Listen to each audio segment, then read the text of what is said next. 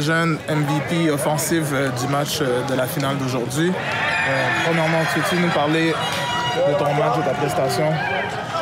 C'est- ça a été un, un match qu'on a été là toute la game, mais je trouve que l'attaque, on, dirait qu'on n'a pas été capable de prendre le tempo. On a notre défense a donné beaucoup de situations qu'on n'a pas, pas pris la chance de réussir. Et je pense que c'est pour ça qu'on n'a pas pu partir avec la victoire aujourd'hui. Puis est-ce que tu veux me parler un peu de ton expérience euh, globale euh, ici, le, niveau de compétition? euh, Qu'est-ce que, est-ce que tu as appris des choses?